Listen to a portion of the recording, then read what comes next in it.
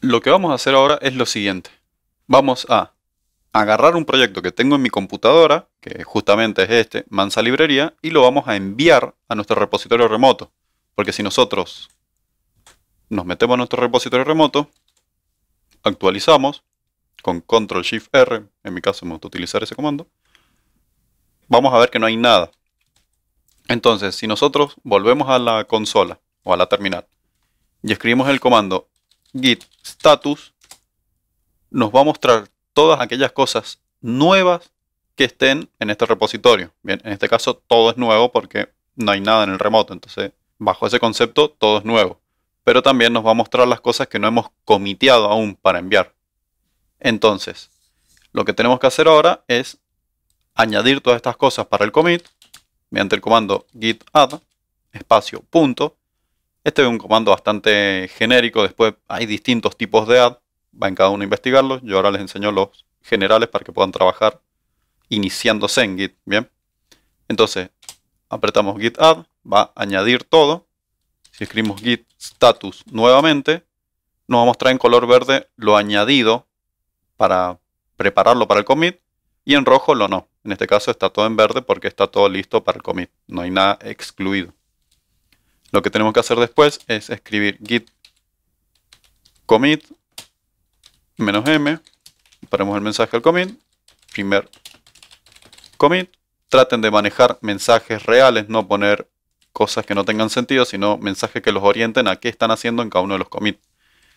En este caso es mi primer commit, le damos enter, si nosotros ponemos git status, no nos va a poner nada en rojo ni nada en verde, porque todo ya está comiteado, es decir, está como empaquetado en un punto de la historia para enviarlo. Entonces, esto lo tenemos que enviar.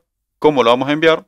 Mediante dos palabras que vamos a tener que asimilar y querer mucho a lo largo de nuestra travesía como programadores. Uno es el git push y otro es el git pull.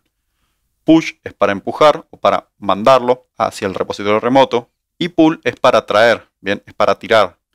En este caso puedo hacer pull de miles de maneras, como puedo hacer push de miles de maneras, vamos a manejarlos con las sencillas. En este caso tenemos nuestra rama master de forma local y en nuestro repositorio tenemos nuestra rama master de forma remota, en este caso todavía no está. Si nosotros directamente ejecutamos el siguiente comando, git push origin master, ¿qué es lo que estaríamos haciendo? Estaríamos enviando información a dónde, depende del alias que pongamos, en este caso hemos puesto el repositorio remoto que está bajo el alias origin, y bajo qué rama, bajo master, igual en el repositorio remoto todavía no existe tal rama. Si lo ejecutamos, efectivamente se va a crear la rama master en nuestro repositorio remoto y vamos a enviar la información de todo el proyecto hacia el repositorio. Esto se va a demorar según el internet de cada uno de ustedes. Podemos ver efectivamente de que se pudo ejecutar el push. Directamente ya está toda la información en el repositorio remoto, ahora lo vamos a ver. Se creó una nueva rama. Yo desde mi master de local hice una master en remoto porque fue lo que especifiqué. Si vamos al repositorio, no aparece nada. Apretamos Control Shift R. Vamos a tener toda la información que he mandado desde mi computadora hacia el repositorio remoto. ¿Qué es lo que tenemos que hacer ahora? Vamos a ejecutar un cambio en nuestro proyecto. Vamos a agarrar una entidad. Supongamos, agarramos cliente, que era en la que estamos parado antes.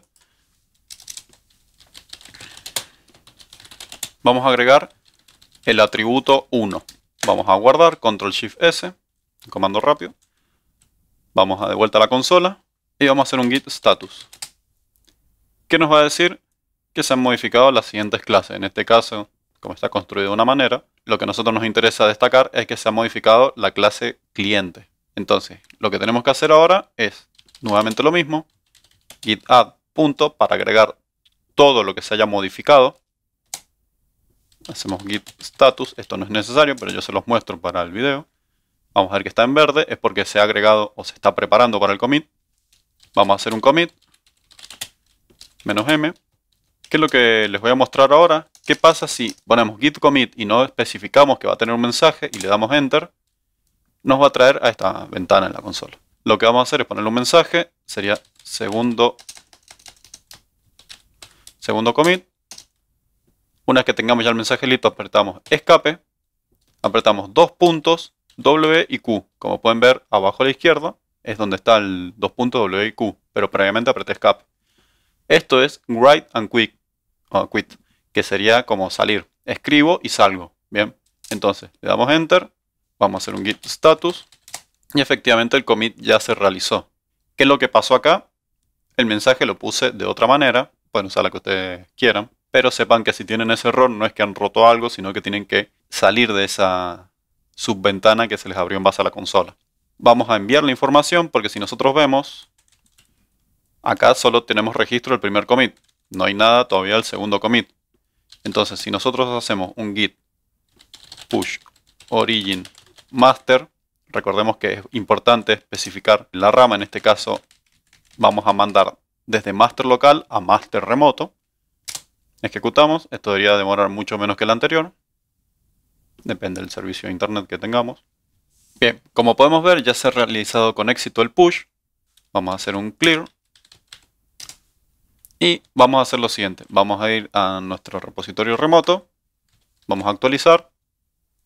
Y acá efectivamente nos está apareciendo de que hay cosas que entraron bajo el primer commit y hay otras que entraron bajo el segundo commit. Entonces, si nosotros le damos clic al segundo commit, al título que tiene este commit, que sería el segundo, nos va a decir lo que se ha agregado es esto, string attrib 1, que sería el atributo 1 que yo agregué. Vamos a agregar un nuevo atributo.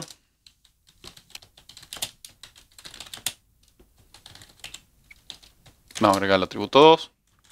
Vamos a realizar los mismos pasos. git add. Git commit.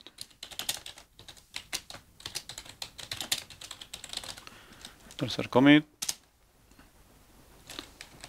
Si aprietan las flechas para arriba tienen acceso a los comandos anteriores. Directamente yo quiero reutilizar el mismo.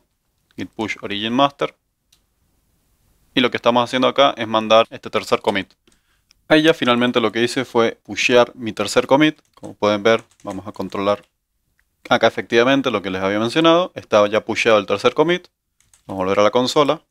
Esto se puede ver de una manera más visual. Si escribimos el comando git log, nos va a encontrar el historial en cuanto a esta rama, o depende de cómo escribamos el git log, de lo que ha pasado en cuanto a los commits. Tenemos primero, segundo y tercer commit.